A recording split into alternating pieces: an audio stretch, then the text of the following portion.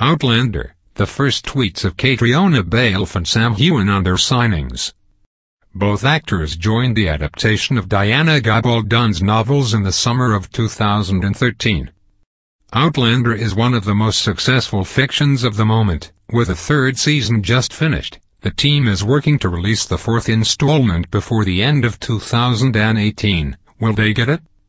The protagonists of this historical series are Caitriona Balfe and Sam Heughan in the roles of Claire and Jamie. The first is a woman of the 20th century who travels unintentionally 200 years into the past, where she will meet Jamie and together try to avoid some historical facts of Scotland, with a season finale in which they travel to the other side of the ocean. The Frasers now face unimaginable dangers in New England.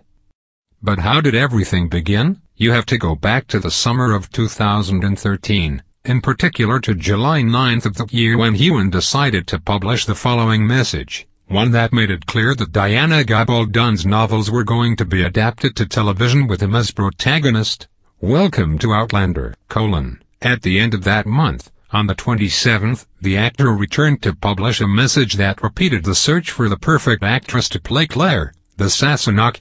After this, on September 11, 2013, both from the official account of the series, as well as from the personal account of Caitriona Balfe, announced that she was the chosen one.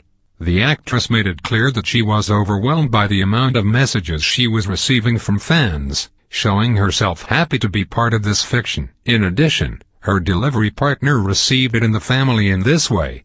To finish the review of the story on Twitter of Outlander, we must talk about his first selfie, and that on September 20th both actors met and published this funny image, their first image together.